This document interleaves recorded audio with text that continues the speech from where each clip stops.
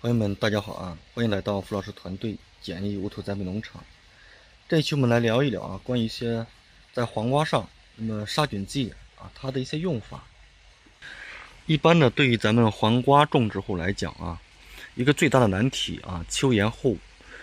那么霜降以后呢，这个早晚温差比较大，那么大棚里面这个黄瓜叶片，这个露水呢非常非常的大啊，很容易导致一些霜霉呀。或者是一些把斑发病啊，或者是一些并发的一个症状，呃，这就要求呢我们啊要比如说降低大棚的湿度啊啊，这是一个方法。另外呢，就是要使用一些杀菌剂去进行预防，或者是去进行治疗。很多朋友呢就会提到一种药，这个氯溴一氢尿酸。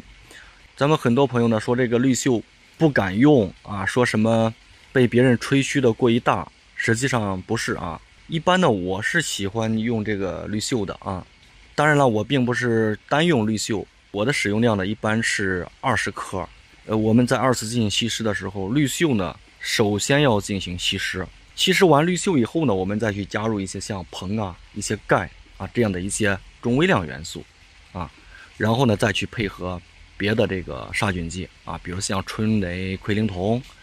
呃，或者是恶酮精商唑、双霉威。呃，西塞马林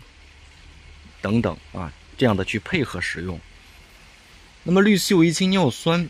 您呢最好是要提前的给它化掉啊，稀释掉，然后再去混用，否则呢，你很容易导致冒泡、起反应，或者是效果变差等等，导致这样的一种情况。